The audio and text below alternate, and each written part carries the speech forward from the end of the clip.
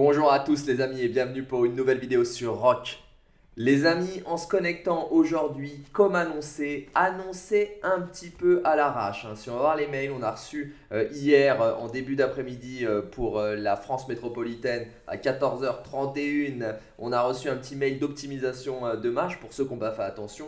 on le voit, c'était ce qu'on présumait. Hein. Pourquoi nous n'avions pas encore la crise de Ceroli car ils l'ont patché. C'est vrai que c'était quand même la loose de devoir faire trois fois chaque boss. On le voit là, normalement, la prochaine fois que la crise de Ceroli va pop, on n'aura plus besoin de faire trois fois chaque boss. On va les faire une fois et on aura trois fois les récompenses. C'est quand même beaucoup mieux parce que, on l'avait vu, c'est la galère pour trouver une bonne team efficace. Alors la trouver trois fois de suite, c'était vraiment ultra relou. C'est vraiment très très bien d'avoir fait ça. Après, pour le rééquilibrage des donjons barbares, moi, je ne les fais jamais, donc je peux pas dire, euh, je peux pas donner un avis dessus. Si vous le faites, n'hésitez pas à donner votre avis en commentaire. Mais moi, en tout cas, je le fais jamais. Et effectivement, on le voit que c'est déjà appliqué, puisque si je regarde les différentes chats que j'ai pour la crise de Ceroli et la balade de Yann aussi, ils viennent de pop sur un tas de serveurs, notamment sur le serveur des UCS. J'ai vu qu'il y avait euh, la crise de Ceroli. Donc, euh, c'est reparti maintenant. On va tous revoir de nouveau la crise de Ceroli suite à ce patch. D'ailleurs, en parlant d'event, pour le moment, c'est toujours aussi mort, hein. rien de particulier. J'ai toujours pas les nouveaux events.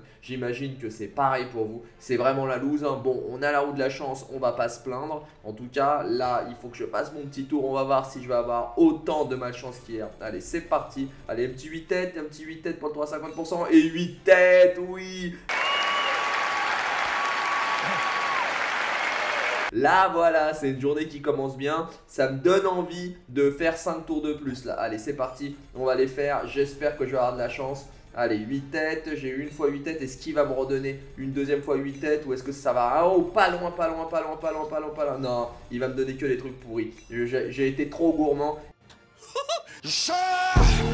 Il veut pas me redonner mais c'est pas grave de toute façon puisque j'ai l'intention de faire 25 euh, tours pour cette fois comme je vous l'ai dit. Je prends ma récompense de 8 tours et je vais pouvoir sortir et débloquer et surtout avoir ce fameux pack de ouf qui est écrivain de l'histoire, le meilleur pack du jeu très largement. Dans les events euh, dont euh, on ne parle pas, parce qu'il ne faut pas dire son nom, hein, je vous le rappelle, hein, on ne dit pas son nom, on attend qu'il vienne patiemment, donc euh, c'est vraiment l'event maudit. Je vous ai retrouvé un petit screen d'un autre event dont on ne dit pas le nom non plus, tout simplement parce que cet event il a disparu. Je vous en avais déjà parlé, regardez, c'est l'event de la voyante Esmeralda, la maison d'Esmeralda. Alors pour ceux qui ne l'ont pas connu cet event, on dépensait des gemmes et la boule de cristal nous donnait aléatoirement une récompense. Et franchement, il était ultra rentable. Moi, sur cet event-là, je gagnais fréquemment 2000 gemmes, 3000 gemmes, euh, jusqu'à même 4 ou 5000 gemmes, puisqu'on obtenait, on, misait 200 gemmes, on en récupérait 400 par exemple, ou des accélérateurs, etc. C'était vraiment, de mon point de vue, l'un des meilleurs events du jeu, avec bien évidemment celui dont on ne dit pas le nom. Mais j'espère que euh, ce, cet event dont on ne dit pas le nom ne va pas disparaître comme, euh, euh, la maison d'Esmeralda parce que euh, c'est vraiment dommage de ne plus avoir cet event là, celui-là, moi je l'aimais vraiment beaucoup. On passe à la statue euh, de la vidéo d'hier, les amis. Si vous avez raté cette vidéo, elle vous a beaucoup plu d'ailleurs. Vous avez beaucoup plu le fait euh, qu'avec euh, Rock Inf, je vous fasse des stats comparatives. On va en refaire aujourd'hui sur un autre KVK. Et vous allez le voir que le matchmaking est quand même beaucoup mieux fait sur les nouveaux KVK. Enfin, du moins, paraît plus équilibré sur le papier. Donc, pour la statue d'hier, j'ai été étonné. Vous l'avez tous bâché ou presque. Vraiment, vous êtes des ouf, vous êtes trop forts. Parce que moi-même, je ne l'avais pas trouvé du premier coup. Il s'agit bien évidemment euh, de Lancelot. Alors ça peut paraître évident, mais, euh, bien joué à vous euh, de l'avoir trouvé. La prochaine, on va faire quelque chose d'un petit peu tendu, mais normalement ça devrait le faire. Hein. je vous ai mis une statue moche comme vous aviez bien aimé la dernière qui était bien moche. Donc regardez cette statue. Qui est-ce? Alors, je vous dis pas si c'est un homme ou une femme. À vous de deviner là. On va voir votre imagination. À vous de trouver de qui il s'agit. Croyez-moi, ça ne ressemble pas du tout au personnage in-game. Donc euh, voilà, c'est la seule indication que je vous donne. Là-dessus, euh, ils ont, euh, je ne sais pas de quel modèle ils ont pris les devs, les character designers pour faire le modèle in-game. Mais en tout cas, cette statue-là ne ressemble pas du tout au commandant qu'on a in-game. Donc ça va être un petit peu chaud ou pas. Ça va être à vous de me le dire, de trouver de qui il s'agit. Juste avant de passer au KVK, les amis, regardez la poursuite du MGE. Alors, par miracle, je dis bien par miracle parce que celui qui court derrière moi euh, a fait vraiment beaucoup de points sur les barbares, il a claqué, alors ça c'est quelque chose que je ne comprends pas, mais au moins ça va, je ne sais pas comment ça se passe sur votre serveur, mais sur le nôtre ça va avoir un enseignement puisque vous le voyez, il avait fait 10 euh, millions de points sur les barbares. Et, euh, donc ça va être limité euh, en potion d'action. Les points sur les barbares vont être limités à partir des prochaines MGE sur mon royaume à juste titre, puisque ça évite que des joueurs claquent tout leur PA plutôt que les claquer pendant le KVK pour maximiser le nombre de points d'honneur qu'on va faire sur le royaume. Donc là, au moins, ça va être limité. Comme ça, les joueurs ne gâcheront pas leur potion d'action. Et donc, normalement, là, il est 4 millions et demi derrière moi. Il devrait me doubler, je pense. On va bien voir euh, ce que je peux être capable de faire. J'ai encore euh, quelques, petites, euh, quelques petites troupes sous le coude, mais pas énormément. Donc, on va voir si ça tient et si je vais avoir mes 180 têtes d'Artemis ou pas. J'en reviens encore une fois au Saladin d'hier avec les joueurs qui ont fait 450 millions. Et ben en fait c'est pas fini, hein. c'était juste à l'étape 1. Et regardez ce screen, lorsqu'il était pris hier, ils avaient passé les 500 millions. Alors je vous dirai à combien ils vont s'arrêter si j'arrive à récupérer l'info, mais c'est quand même dingue, les mecs sont déjà à plus de 500 millions pour un Saladin. Moi ça me rend ouf. J'ai vu euh, une, un screen de l'un d'entre vous sur un autre serveur pour un L-Seed, des mecs qui sont montés à pratiquement 600 millions. Non mais franchement, il y en a, ils ont vraiment des CB infinis sans limite et même pour des commandants qui sont vraiment standards, ça les dérange pas de claquer un max. Passons à présent, comme je vous l'ai dit, à un KVK qu'on a déjà été voir, mais nous allons le regarder avec un œil nouveau juste avant l'ouverture des Terres du Roi et surtout, encore une fois, grâce à ce comparatif sur Rock Inf et on va le voir par rapport à hier et au KVK 70 sur les nouveaux KVK, l'équilibrage, le matchmaking me paraît quand même beaucoup plus fiable. Alors, sur ce KVK là, on va aller sur le 37, le 37 qu'on a déjà été voir. Alors, je vous le rappelle, celui qu'on a vu hier, si vous pouvez retourner voir la vidéo encore une fois, euh, il était en KVK saison 2 et c'était donc un KVK ancien système. Le 37, pour ceux qui l'ont raté, euh, il est, pour ceux qui ont raté la vidéo, j'en ai déjà parlé, c'est un KVK nouveau système, c'est un Light and Darkness. Donc, on a normalement le même système de matchmaking, sauf qu'il est fait en team par rapport euh, au KVK euh, saison 2. Donc, la seule différence, c'est qu'on a une team de 4. Donc, déjà, si on regarde, on a le serveur 1273, 1280, 87, 90, 93, 11, 77 et 82. Ils sont pour certains de la même génération, d'autres un petit peu plus jeunes, comme le 77 et le 82. Si on regarde le comparatif, donc on, prend ces, ces, quatre royaumes, si on regarde le premier comparatif, on le voit, c'est quand même bien fait puisque on a deux euh, royaumes A et deux royaumes euh, B par team par team. Donc au total, 4 royaumes A, 4 royaumes B. Et on regarde, on a bien plutôt 4 royaumes équilibrés euh, de chaque côté. Donc on a les B sont plutôt équilibrés en T5 et les A sont aussi plutôt équilibrés avec euh, deux royaumes qui sortent euh, quand même euh, du lot. On le voit, il y a deux gros A, deux plus petits A et deux B plus haut. Et quand même, il y a un B qui est un petit peu à la traîne. Donc, je trouve que c'est quand même très très très équilibré. J'ai été surpris. autant hier, on, a vu un déséquilibre dans les royaumes. Autant là, si on regarde, excepté, je dis bien excepté, si on considère le fait que le 1377 a quand même beaucoup de joueurs au-dessous 30 millions, un petit peu plus que les autres quand même. Euh, si on accepte ça, c'est quand même très très très équilibré. Et étonnamment, on a aussi le serveur 13-11 euh, qui lui est un petit peu plus à la traîne puisqu'il a moins de joueurs euh, de haut niveau. On le voit, c'est le seul qui a une case entre 5 et 10 millions. Vous voyez sa barre tout à gauche. Donc vraiment lui qui à la traîne. Mais sinon, c'est plutôt très très équilibré, je trouve. Et donc ça annonce vraiment du bon. Et je pense que le système de matchmaking. Il faudra en analyser d'autres, on va en faire d'autres de toute façon des KVK, surtout avec ce spectre-là, avec euh, Rock Eve, ça nous donne vraiment un aspect sur le papier parce que ça ne nous donne pas le taux d'activité, évidemment. Mais en tout cas sur le papier, les KVK en Light and Darkness me paraissent quand même beaucoup plus équilibrés. Rendons-nous sur ce KVK, donc le 37, qui euh, a vraiment un intérêt stratégique puisque si on regarde bien les portes du Terre du Roi, alors je me trouve au Terre du Roi, voilà, les Terres du Roi ne sont toujours pas ouvertes et ne sont pas annoncées.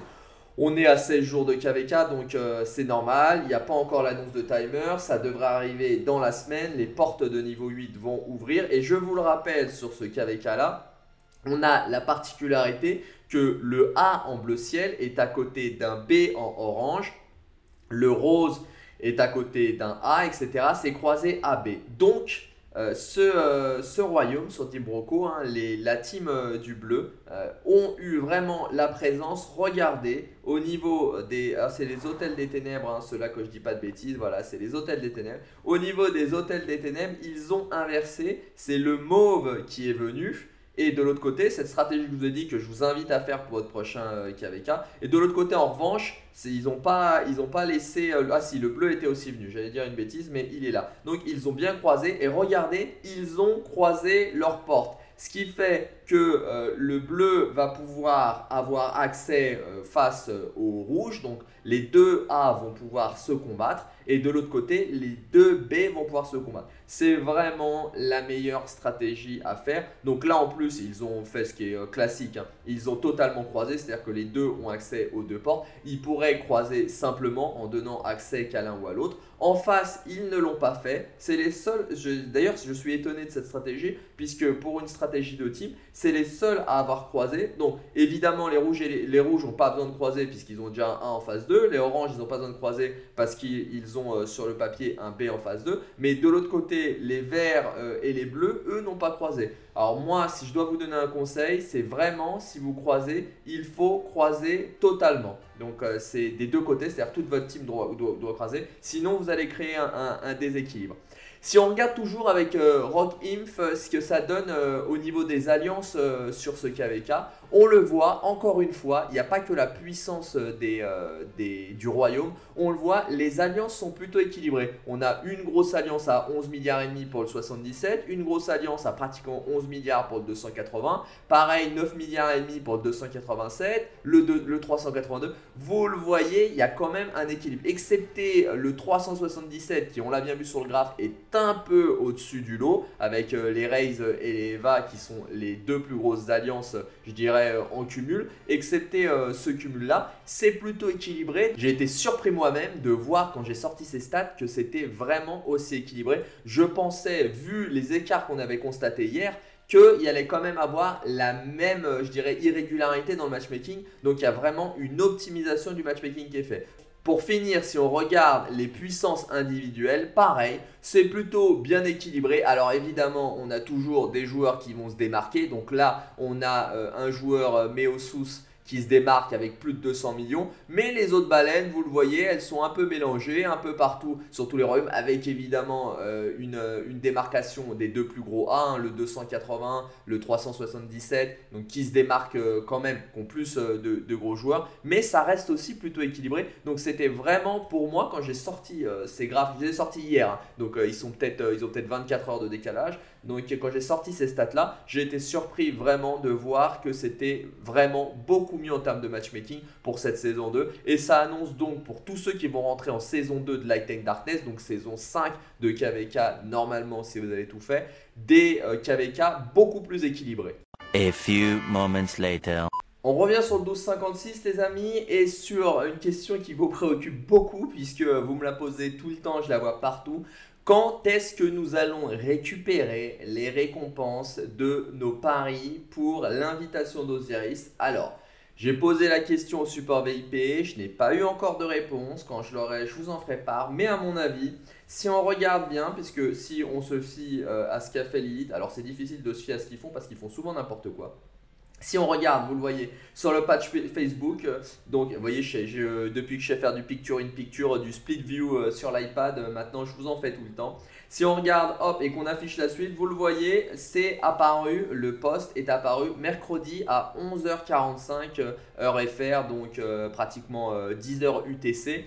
Donc si on regarde ça, on devrait avoir, au moment où vous, si ma logique est bonne, au moment où vous regarderez cette vidéo, les nouveaux paris, la phase 2 sera apparue sur la page Facebook s'ils tiennent le même rythme, hein, ça sera aujourd'hui dans la journée. Donc on peut espérer qu'on va avoir les récompenses dans la foulée puisque je les vois mal lancer une deuxième phase sans nous donner récompense et en plus on sait que l'élite a tendance à nous faire des mises à jour à l'arrache, comme on l'a eu euh, ce matin, sur l'optimisation, comme ils appellent, du 1.034, et avoir un système qui va leur permettre de nous envoyer les récompenses euh, in-game. Donc je pense qu'il y a eu ça aussi. Donc on devrait avoir, en théorie, s'ils gardent le même rythme, le tour 2 aujourd'hui. Donc je vous ferai mes pronostics demain ou, euh, ou dans la semaine, avant bien évidemment la deadline et on devrait pouvoir récupérer nos, euh, récompenses. Alors si euh, tout se passe bien, nous et ceux qui ont suivi Paris, on va pouvoir récupérer 20 tomes du savoir niveau 16 de, tranquillement, 48 heures d'accélérateur d'entraînement, c'est très bien,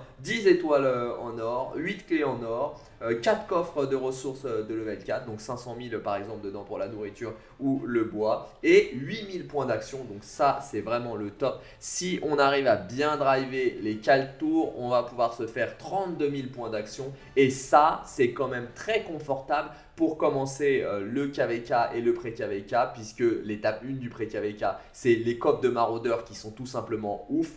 Et je vous parlais du MGE où il ne faut pas gâcher ses points d'action. Clairement, là, si on peut en gratter, ça sera vraiment de la balle. Pour finir, les amis, une petite breaking news. Alors, on dit souvent, on garde le meilleur pour la fin. Ça sera à vous de voir si c'était le meilleur ou pas. D'ailleurs, sur cette info, mettez-moi votre avis en commentaire. Je pense que vous n'avez pas encore lu ou vu cette info. Moi, en tout cas, je l'ai entendu de la part de personnes. Pourtant, un grand nombre de content créateurs ont forcément été contactés là-dessus pour faire cela, puisque Lilith est en train de travailler à une campagne de pub sur les réseaux euh, mondiaux et dans toutes les langues euh, où le jeu euh, existe une grosse campagne de pub qui devrait sortir normalement la deuxième quinzaine euh, du mois de juin, si ce n'est sur la fin du mois de juin, donc juste au début de l'été. Et Lilith, par le passé, généralement, lorsqu'ils ont fait des grandes campagnes de publicité comme ça et de communication avec euh, des content creators, ça annonçait un très gros patch. En général, c'est ça, ou du moins un patch assez conséquent,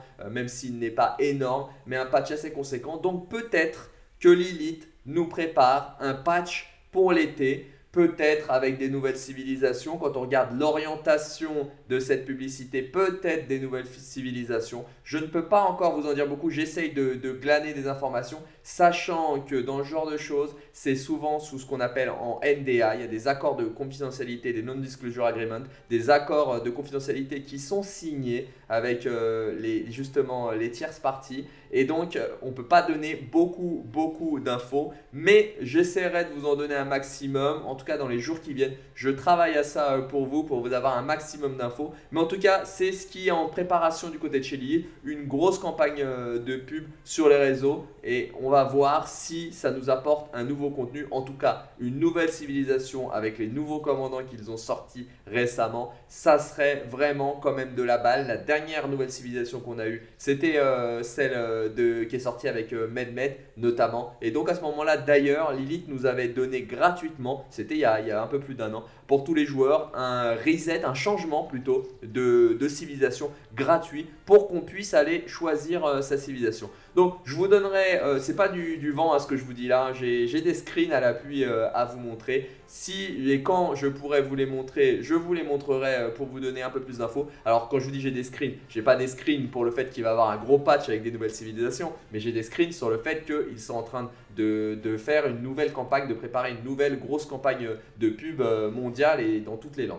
Donc voilà les amis, j'espère que cette information va déboucher sur bien évidemment un gros patch, mais on verra bien, je suis comme vous, hein, je suis un vrai gamin et moi un gros patch avec des nouvelles civilisations, j'attends que ça. J'espère les amis que cette vidéo vous aura plu. Si c'est le cas, comme d'habitude, vous savez ce qu'il vous reste à faire. Je vous invite à lâcher un énorme, un colossal, un gigantesque pouce bleu. Vous le savez, ça aide énormément le développement de la chaîne et je vous en remercie vraiment beaucoup. Et surtout les amis, surtout, si vous voulez qu'on éclate super rapidement le plafond des 6000 abonnés, je vous invite à vous abonner à la chaîne en cliquant sur la cloche pour être informé de toutes nouvelles vidéos. Je vous souhaite un bon jeu à tous, prenez soin de vous, faites bien attention à vous. Et je vous dis à plus sur Rock.